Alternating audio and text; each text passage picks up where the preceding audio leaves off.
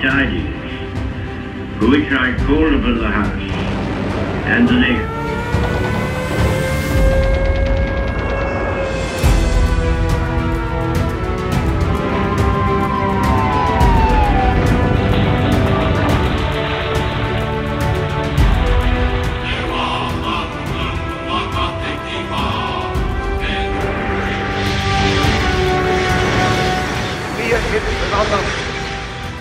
Wir intolerante, unverträgliche Menschen sein.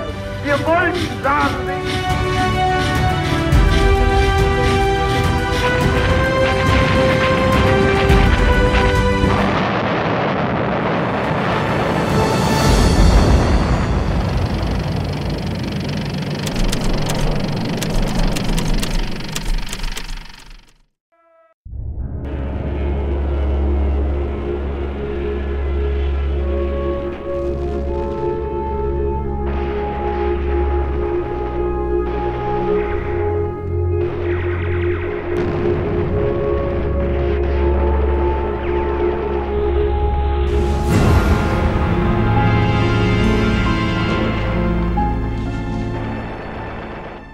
As the Second World War entered its third year, Adolf Hitler and his Axis allies continued their advance into new and unconquered terrain.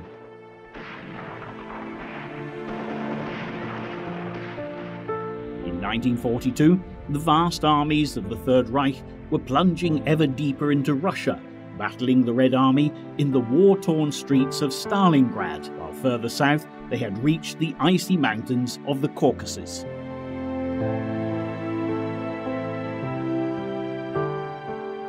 North Africa, German and Italian troops had crossed the border into Egypt and were edging closer to the oil fields of the Middle East. In the Far East, Hitler's Japanese allies had extended their influence far beyond the confines of their tiny island empire and commanded great tracts of land and ocean that stretched from Southeast Asia to the remote islands of the Pacific. Millions of people were to suffer unimaginable horrors as the Axis powers encircled the globe, casting a rain of fear and terror across every nation they occupied. But for those who continued to struggle beneath the shadow of the New Order, by the autumn of 1942, hope lay on the horizon. The strength of the Allies was growing, and with the Soviet Union, America, and Great Britain now united, the balance of power was beginning to shift. By November, the Allies would finally be ready to launch their invasion of North Africa. While the Eighth Army beat the enemy back out of Egypt, German and Italian forces in the Western Desert would soon face an attack on two fronts. In the meantime, the Soviet soldiers fighting the Great Patriotic War in Russia were ready to launch their counter-offensive at Stalingrad, and as the city fell beneath the icy grip of winter, the German Sixth Army would soon be trapped with no hope of escape.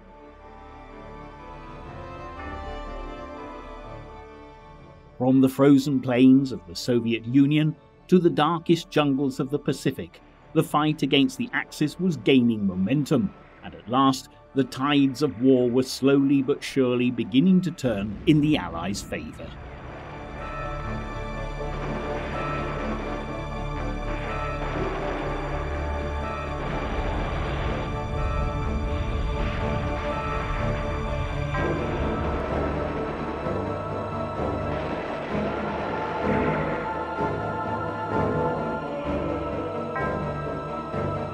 No one could have foreseen, however, the speed at which Japan would create its new empire, and by 1942, the eastern enemy had claimed territory stretched out from the western border of Burma at the gates of India to the freezing Aleutian Islands near Alaska, that conquered islands as far south as New Guinea and the Solomon Islands in the South Pacific.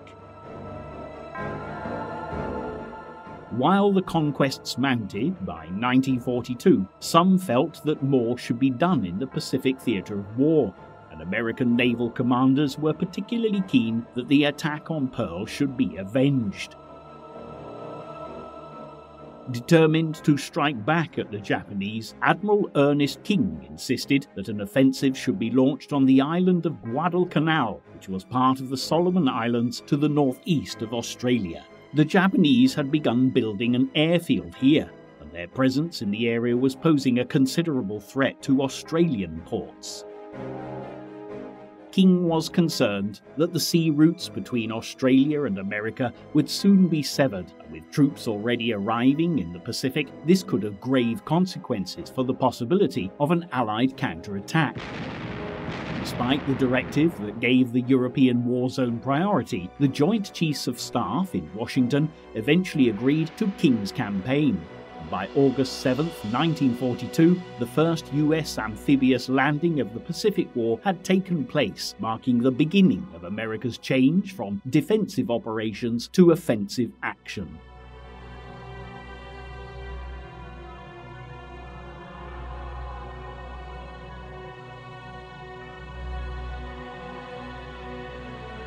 The battles in the dark and humid jungles of the Solomon Islands would nevertheless be long and bitter, with more men losing their lives to deadly diseases than to the enemy.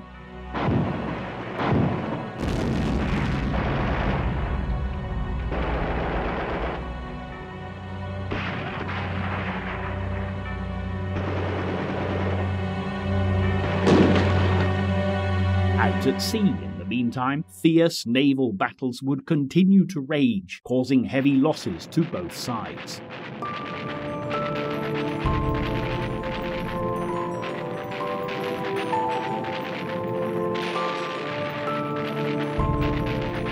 On October 26, the carrier USS Hornet, which had launched the first attack on the Japanese mainland during the Doolittle raids in April, was hit during the Battle of Santa Cruz Islands would be a major loss for the American fleet, but little could be done to save the carrier, which suffered heavy bomb and torpedo damage. Nevertheless, the Americans had an important advantage, having seized the airfield on Guadalcanal from the Japanese during the first days of battle. Henderson Airfield was now being turned into a sizable airbase and would pose a considerable threat to any attempts by the enemy to ship fresh troops to the island.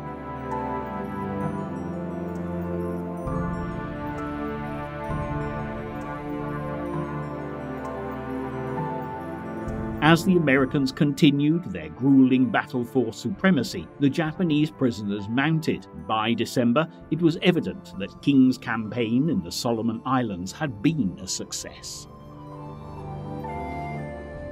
While the enemy retreated further back towards the west coast of Guadalcanal, it was decided that the weary US Marines could finally step down and let the Army divisions take over.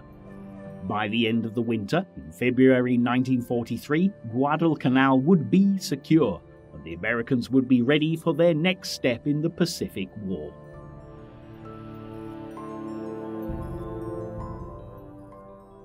Meanwhile, over 4,000 miles to the north of the Solomon Islands, US soldiers were faced with a very different challenge. The Aleutian Islands, which lay off the coast of Alaska in the North Pacific, had been invaded by the Japanese in June 1942, placing the enemy uncomfortably close to Canada and the west coast of America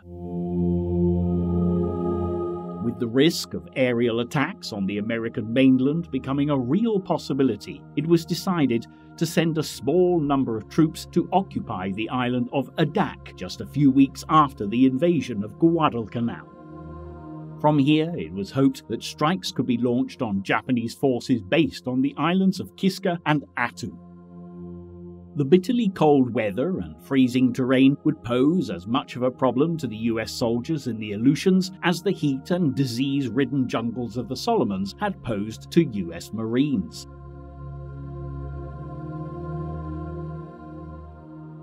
From thick fog and high winds to plunging temperatures and icy conditions, the Americans based on Adak would have much to contend with. Nevertheless, their determination to defeat the Japanese kept them battling through the worst of the weather, and they would soon be ready to launch their first attacks on the enemy.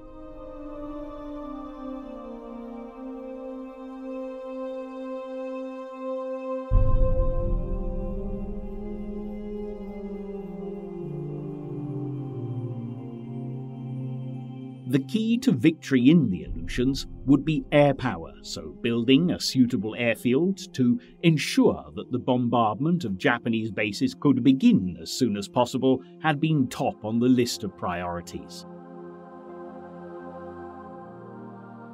Although conditions were not always ideal for flying, once the airbase was ready for use, American pilots would begin to brave the bitter weather and inflict as much damage as they could on Japanese forces in the area.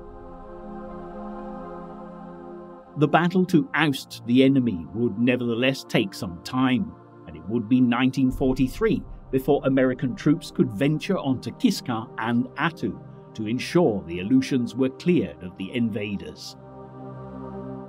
While events in the Pacific focused primarily on the invasion of Guadalcanal, the war in the Aleutians would become known as the Forgotten War. The men who fought here would still play an important part in the global conflict, however, and many lives would be lost as they battled to protect the American mainland and the Pacific sea routes from the threat of attack.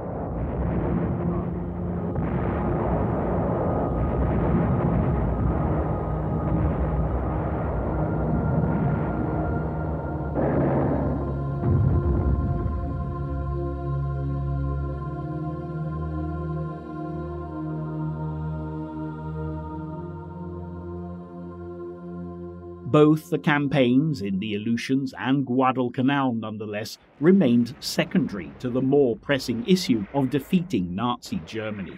By 1942, hundreds of thousands of Soviet soldiers were being killed on the battlefields of Russia, and the urgency of opening up a second front in Europe was growing by the day.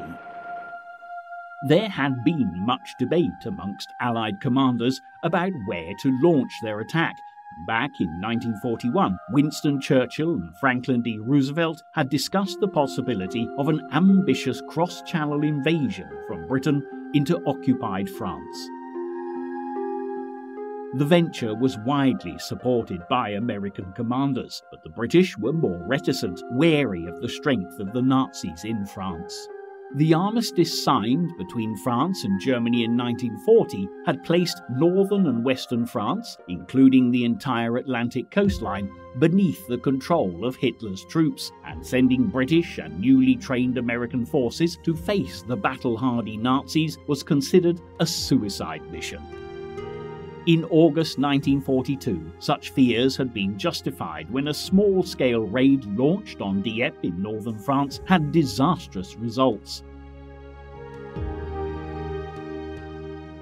The port was fiercely defended by the Germans, and of the 6,000 Canadians and British troops who had taken part in the landings, over 4,000 were killed, wounded, or missing by the end of the campaign.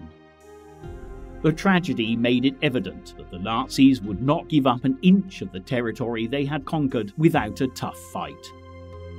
Although the experiences of Dieppe would contribute to better preparations for the eventual invasion of France, it was clear that more time was needed before a large scale attack could be launched, and soon an alternative mission began to gain greater popularity.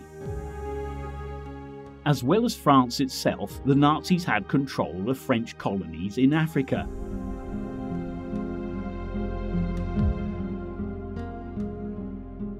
Ports in Algeria and Tunisia ensured that crucial supplies for Italian and German troops were arriving unhindered across the Mediterranean Sea to North Africa, and this was posing a considerable problem for British and Commonwealth troops protecting Egypt. Despite all attempts to stall the enemy advance, by June 30th, Axis troops led by General Erwin Rommel had crossed the Libyan border and had reached El Alamein, just 60 miles from Alexandria. There was now a real danger that the Nazis would seize the Suez Canal, which was vitally important to the balance of power in the Second World War. The Suez connected the Mediterranean to the Red Sea the rich oil fields of the Middle East, and if seized by Hitler, it could have devastating consequences for the Allied war effort. While the situation deteriorated in Africa, it was proposed that rather than a cross channel invasion into France, an invasion of North Africa should be undertaken.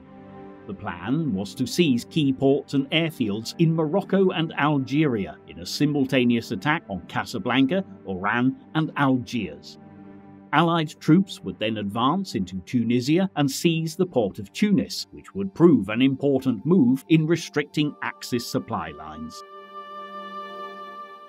British naval commanders felt that seizing these ports would be a vital step in gaining control of the Mediterranean, which would in turn be crucial if there was going to be any hope of pushing the enemy back out of occupied Europe. It was hoped that after the invasion of North Africa, the Allies would then be able to advance on the soft underbelly of Europe and invade Italy.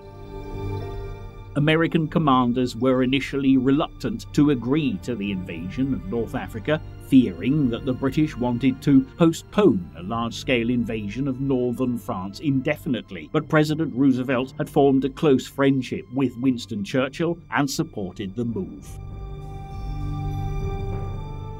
General Eisenhower was selected to coordinate the invasion, which was codenamed Operation Torch, and in the summer of 1942 he arrived in London to commence preparations for the attack. Meanwhile, in North Africa, the fight to stall the Nazi advance continued. General Bernard Law Montgomery, otherwise known as Monty, had taken over the command of the Eighth Army in Egypt in August 1942 and was determined that Rommel and his troops would advance no further than El Alamein. The Eighth Army had fiercely defended their position in the Battle of Alam el Halfa at the end of August, now formed a defensive line which stretched from the coast to the impassable Qattara Depression, and this would ensure that the Germans and Italians were held at bay for the time being. There was little doubt that Rommel's troops would soon attack again, however, and Montgomery's focus in the early autumn of 1942 was on preparations for a dramatic counterattack which would expel the Axis from Egypt and drive them back into Libya. Vast quantities of weapons and ammunition were stockpiled to give Montgomery's troops superior firepower. Additional tanks arrived from America, and while more forces arrived to join the Eighth Army, Montgomery soon had almost 200,000 men at his disposal. In the meantime, Allied planes were doing all they could to destroy the Axis supply lines.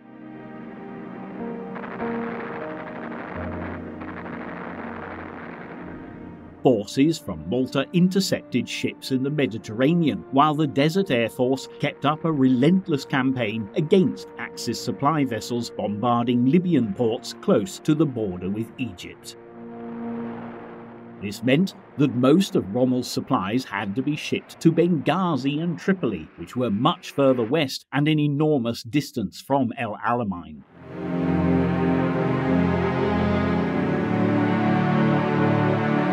Soon the flow of supplies crossing the Mediterranean to the Axis armies had fallen to a dismal level, and Rommel began to realize that the war in Africa would not be won without more air support. The planes of the German Luftwaffe were, however, occupied in the battles of the Soviet Union, leaving Allied air power unchallenged in the Western Desert.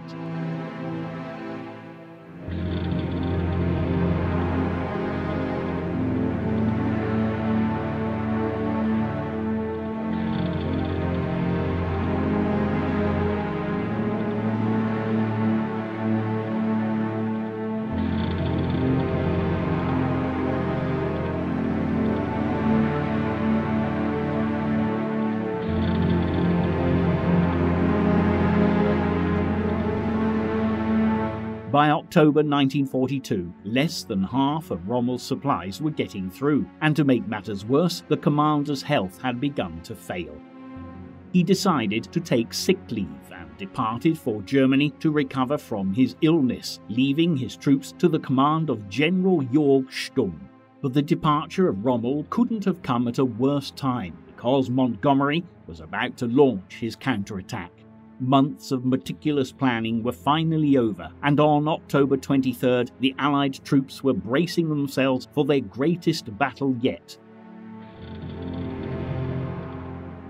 In the silence of the desert, all took heed of Monty's simple message that each and every officer and man should enter the battle with the determination to see it through, to fight and kill, and finally to win.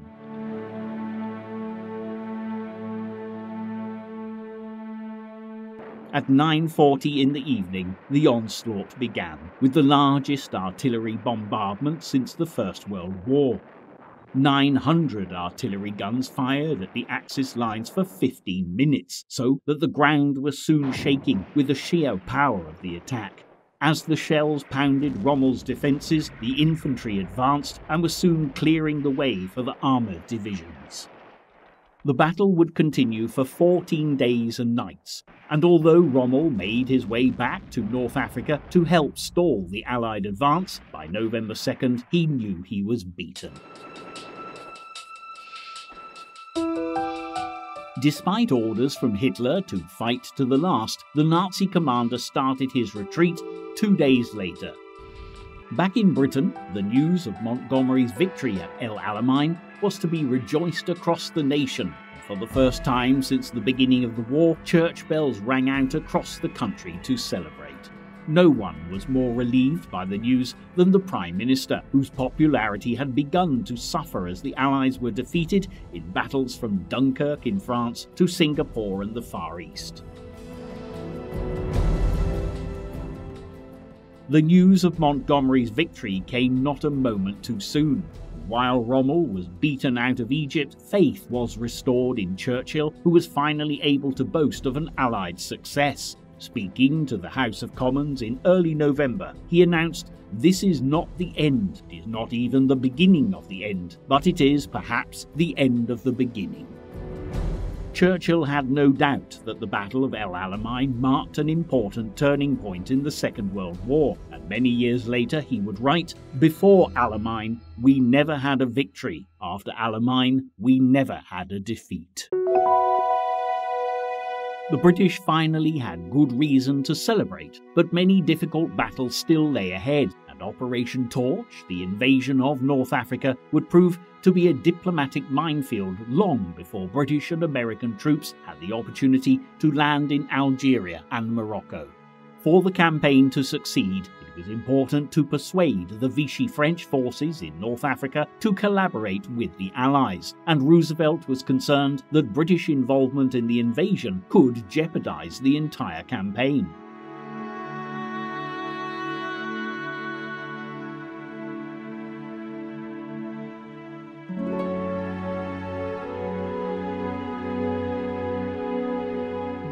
Although France and Great Britain had fought together in the First World War and were allied at the beginning of the Second World War, when Paris fell to the Nazis in 1940, the friendship between the two countries became strained to say the least.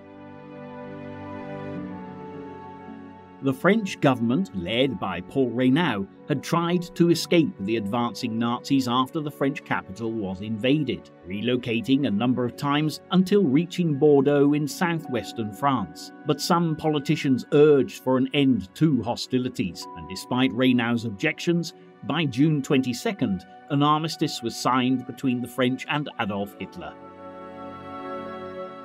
Reynaud resigned was replaced by 84 year old Marshal Pétain, who set up a new government in Vichy.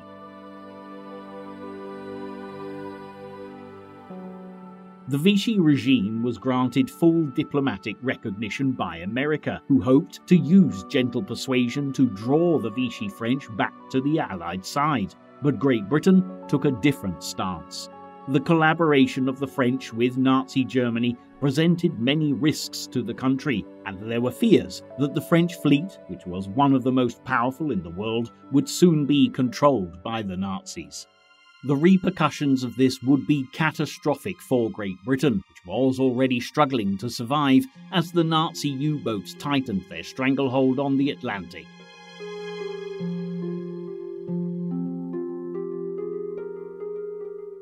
To recap, Churchill, who had been Prime Minister for less than two months, ordered that the French Navy should either join forces with the British Royal Navy or be neutralised in some way to prevent the ships from falling into German or Italian hands. There were already French vessels in British ports, but these were swiftly boarded. But the most powerful concentration of French warships was at the port of Mer el Kabir in French Algeria, and it was this squadron which was Churchill's greatest concern. Despite assurances from Admiral Darlan, the Minister of the French Navy, that there was no danger of the Germans seizing the ships in North Africa, the British Prime Minister was determined to eliminate any possible risk to Britain's security. Churchill made one of the most controversial decisions of his career when he ordered that the French fleet be attacked unless it sailed from its base in Algeria to Allied waters. After negotiations failed, the British opened fire on July 3, 1940.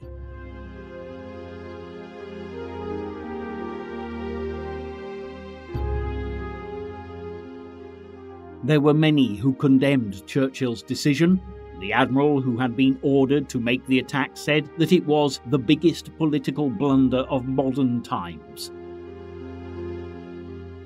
But while politicians chastised the Prime Minister, the attack had proved to the world that the British would put up a fierce fight to the threat of the Nazis, no matter what the cost.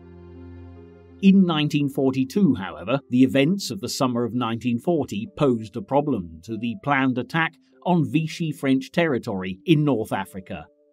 Roosevelt felt that the French would react better to American troops and suggested that all landing forces should be US troops or Marines. The British, who were keen on encircling the remainder of Rommel's troops, were not to be left out, however, and it was finally decided that while the attack on Casablanca in Morocco and Oran in Algeria would be launched by purely American forces, a combination of British and American forces would invade Algiers.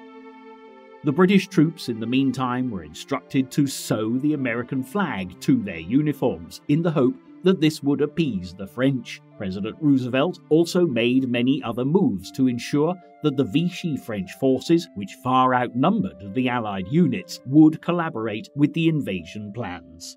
He wrote a personal letter to Marshal Pétain urging him to support the Allies. He even tried to win over the Arab population in North Africa by commissioning a proclamation stating that the American holy warriors had arrived. Pray for our success in battle and help us, and God will help us both, was part of this unusual message, but it's unclear whether it had much impact on the local population.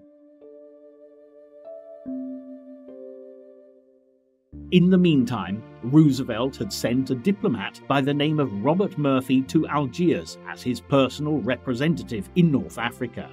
Murphy had the task of contacting all potentially friendly political elements in Tunisia, Algeria, and Morocco, and was assigned the task of finding a French figurehead for the attack.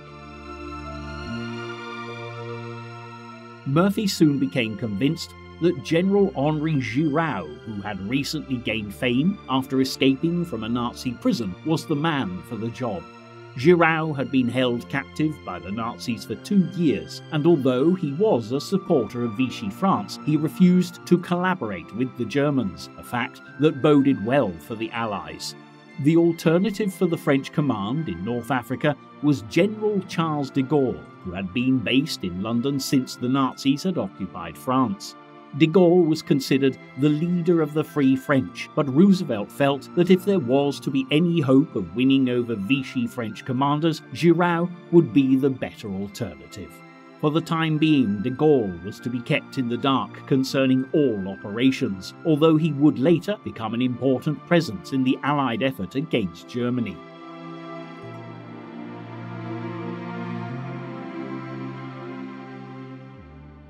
While the delicate political situation was negotiated, hundreds of Allied ships began heading towards North Africa.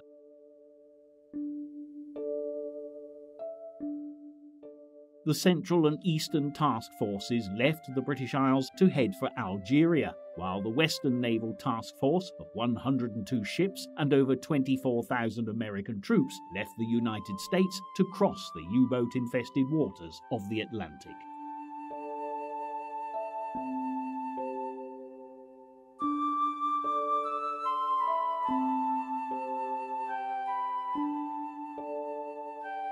Their destination was French Morocco, and virtually all the men aboard were going into action for the first time. Just a few months earlier, they had been working as clerks, lawyers, salesmen, and garage mechanics, but soon they would face the overwhelming demands of battle.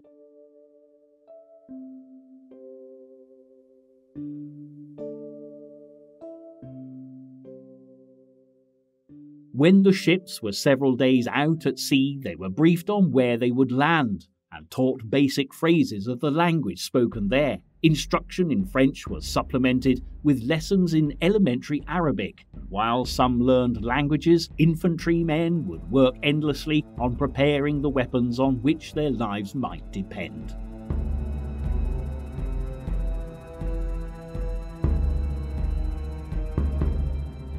Soldiers, and sailors. It is not known whether the French African army will contest our landing. But all resistance, by whomever offered, must be destroyed. However, when any of the French soldiers seek to surrender, you will accept it and treat them with the respect due a brave opponent and future ally. Remember, the French are not Nazis or Japs. All three task forces involved in the invasion were proceeding with the utmost secrecy, and although there were many concerns that U boats would attack, German command didn't appreciate the significance of the convoys and the threat they posed to North Africa. In fact, some commanders believed that the ships were supply convoys heading for Malta.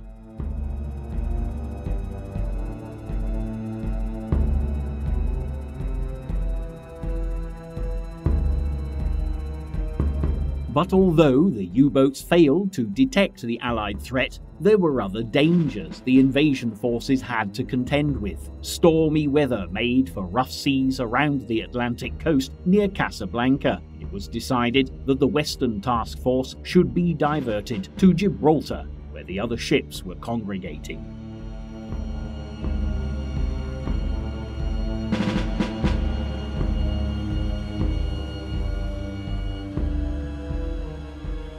The Allied island base, which lay between Spain and North Africa, was where General Eisenhower had his headquarters buried deep beneath the base of the rock. But the ships preparing for the invasion weren't the only newcomers in Gibraltar. On the eve of the invasion, General Giraud was smuggled to the base by submarine. Giraud believed he would be commanding the invasion, and there were moments of confusion while Eisenhower explained the mission through his interpreter. Eventually, Giraud agreed to be a spectator and would be ready to step in later as administrator of French North Africa.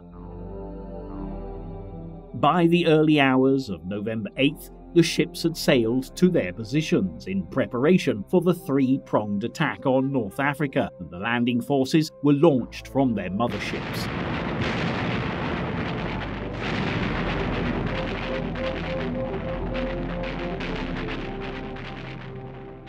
The Eastern Task Force was split into three groups two heading for beaches to the west of Algiers and one to the east. There was practically no French opposition here, and some French generals even greeted the American forces.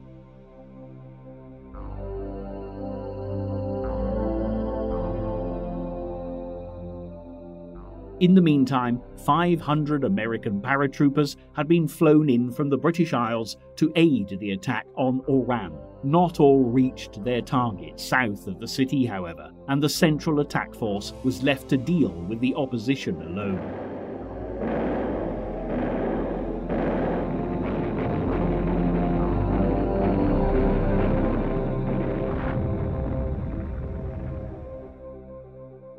After a naval engagement in Oran harbour, the troops started ashore in the early morning of November 8th, with one combat group landing to the east of the city and another to the west.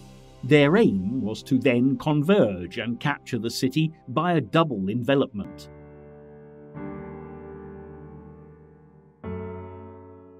Some units faced resistance, but before long all fighting had ceased and the French surrendered to the Allied troops.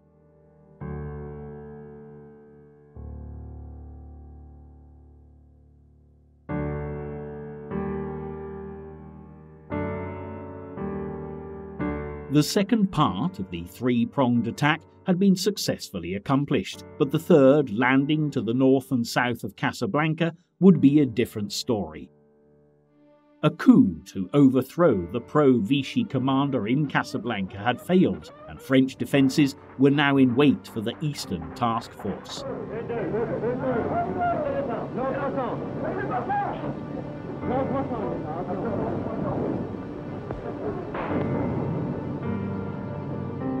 The Americans were fired on by elements of the French fleet, and a fierce naval battle ensued off the coast of French Morocco.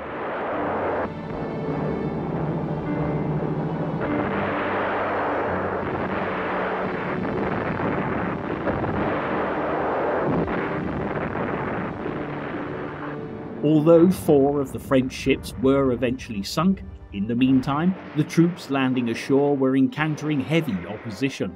But while the battling continued, there was a turn of events that would have a profound effect on the future of the North African campaign. When the Eastern Task Force had entered Algiers, it had been discovered that the Vichy French commander, Admiral Darlan, was in the city on a private visit with the opportunity to deal with a senior Vichy representative who had greater authority than Giraud, Eisenhower began negotiating with the Vichy commander and offered him the chance to stay in control of French forces if he joined the Allies.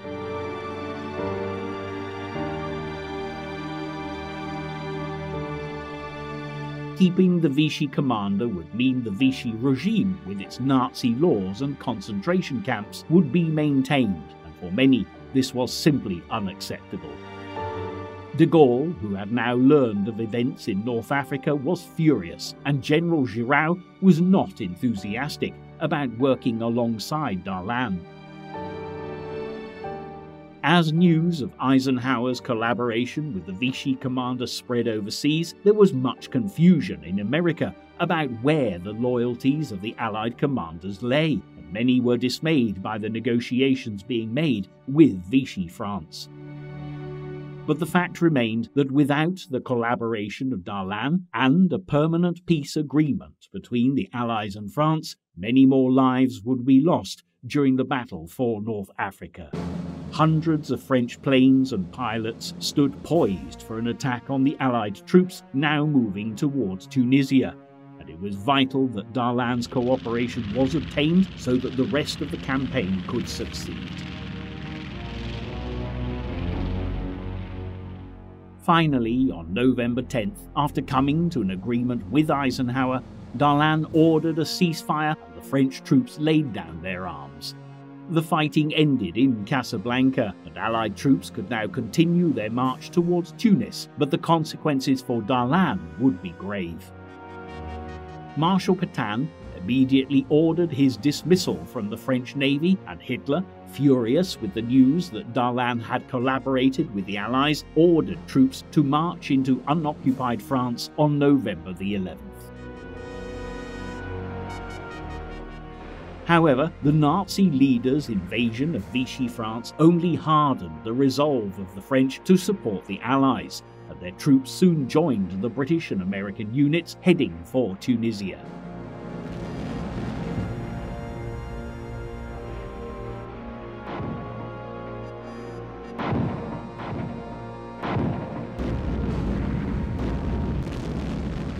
While the Allied tanks rolled further east, 1,200 miles away, the 8th Army were making swift progress from the opposite direction, having driven the Axis out of Egypt. Montgomery's troops continued to seize strategic ports along the Libyan coastline. And it was hoped that Rommel and his troops would soon be encircled by the two Allied armies. As the battle for North Africa continued, Adolf Hitler feared that southern Europe would soon be under threat, and he ordered thousands of troops and tanks to be sent to Tunisia to fight back the Allied attack. Meanwhile, General Kenneth Anderson from Great Britain was leading the Allied race for Tunis with the First Army.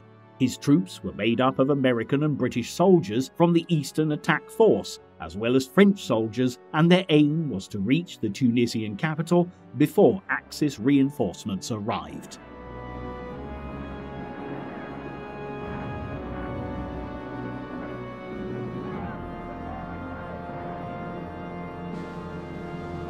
By November 22nd, Anderson's troops were ready to launch a major assault on Tunis, but the weather began to hinder their advance. Within a week, torrential December rains had transformed the arid landscape into a quagmire, and the Allies faced a slow and difficult struggle across the unstable terrain. While mud now became as much of an enemy to the First Army as the troops of the Axis, the Allies arrived too late to seize Tunis. Nazi reinforcements had already consolidated their positions and began launching their counterattack, and it was clear that the fight for North Africa was not going to be as swift as initially hoped.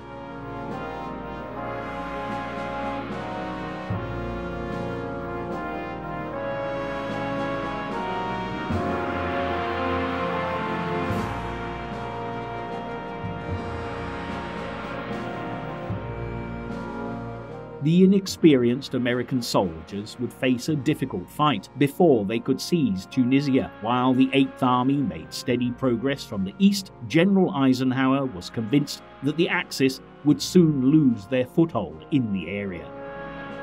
Back in Great Britain, Winston Churchill was jubilant, celebrated the events of the past month in a speech to the British population. Now, uh, we have uh, just passed through the month of November, usually a month of fogs and gloom. But on the whole, a month I've liked a good deal better than some other months we've seen during the course of this present unpleasantness. And so I say to you, let us go forward together and put these grave matters to the proof. Invasion of North Africa had achieved what the Allied leaders had hoped for, and while combat continued, some of the pressure was now taken off the Soviet soldiers battling around Stalingrad.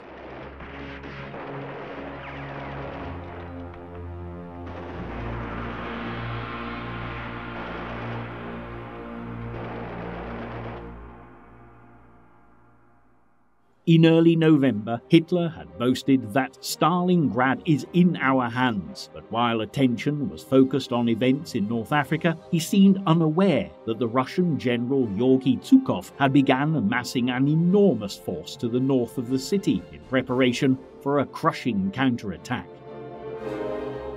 By November 16th, the first snows of winter had swept across the Russian battlefields, and fate was on the side of the Soviet soldiers.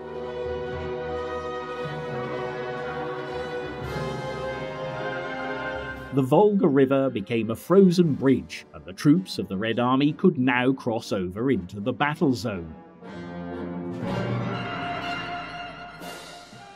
Within days, they were ready for their dramatic counterattack, and Russian artillery opened a gigantic enveloping maneuver with one army to the north of the Germans and another to the south half a million Russian soldiers and 15,000 tanks advanced in vast columns, while across the steppes, a band of 50,000 Cossacks stormed across the winter landscape.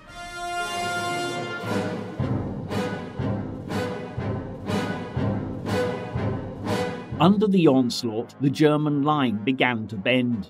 Then the Russians made a breach, smashing through the 6th Romanian Corps on November 20th. Zhukov's aim was for the two Russian forces to meet far southwest of Stalingrad. In order to encircle the entire German Sixth Army and to cut its supply lines.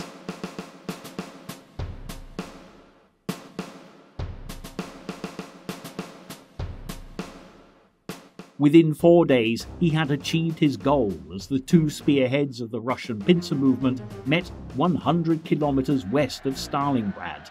250,000 German troops were now trapped inside the city.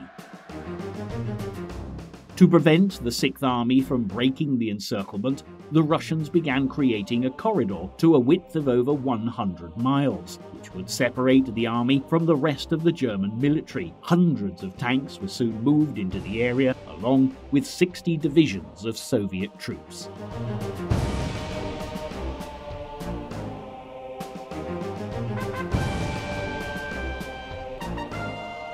But instead of urging the Sixth Army to escape while they still could, Adolf Hitler ordered their commander, General Friedrich Paulus, to remain in position and to hold the city at all costs. On November 23rd, Hitler declared that Stalingrad was a fortress to be defended to the last. Hermann Goering, Hitler's deputy and head of the Luftwaffe, had assured the Nazi leader that his planes could drop supplies to the Sixth Army, but providing for such a vast number of troops was beyond the capabilities of the German Air Force. Appalling weather conditions, technical failures, and Soviet anti aircraft fire all limited the abilities of the Luftwaffe. And while all attempts were made to get supplies to the soldiers in Stalingrad, before long, those trapped inside the city began to run out of fuel, ammunition, and most importantly, food.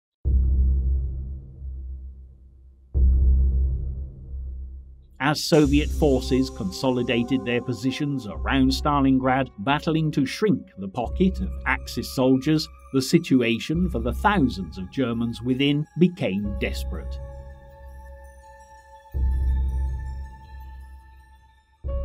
It was increasingly evident that the Luftwaffe could not carry out their mission to supply the Sixth Army, and plans were made for a rescue attempt. The operation, codenamed Operation Winter Storm, aimed to break through the encirclement and relieve the trapped German forces. On December 12th, the German 4th Panzer Army, under the command of General von Manstein, began their relief effort and initially took the Red Army by surprise.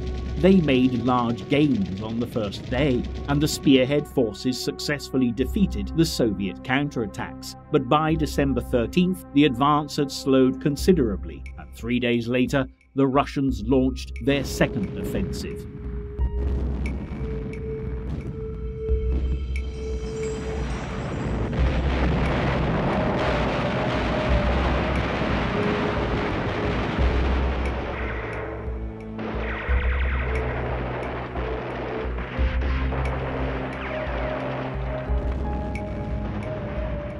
As resistance and casualties increased, Manstein appealed to Hitler and to General Paulus to begin the Sixth Army's breakout operation, but both refused. The decision would prove fatal for the hundreds of thousands of men still inside Stalingrad.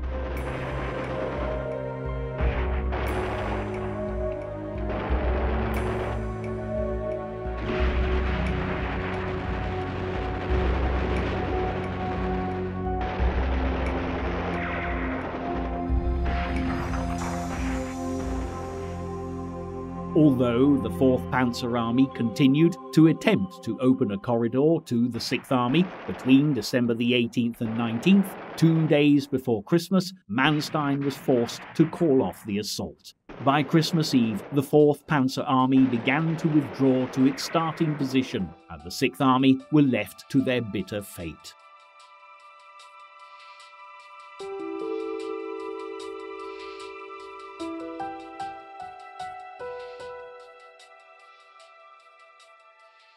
The final stages of Nazi Germany's attempt to conquer the Soviet Union had failed. By January, the soldiers still left alive in Stalingrad would have no option but to surrender to the enemy.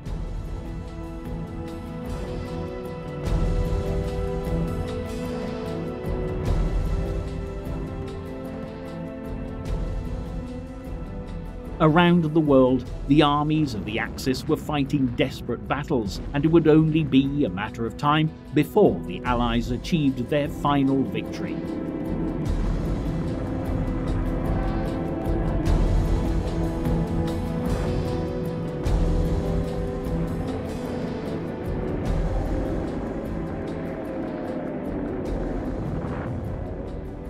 But while many had real cause to celebrate during the Christmas of 1942, the Allied commanders had little time to pause in their continued drive to defeat the enemy. The fight for Tunisia would continue far into the new year, and it would be spring before the Allies could claim their prize and march into Tunis. And after Tunis, there would still be another two years of fighting before the Nazis surrendered.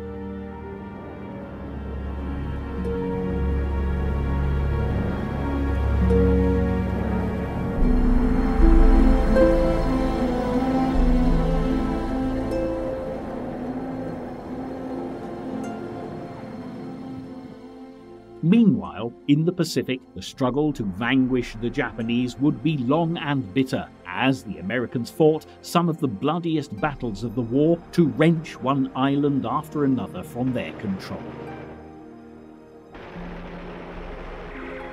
Although the tides of war had turned, there were still countless battles to be fought across the globe, and the fight for victory was far from over.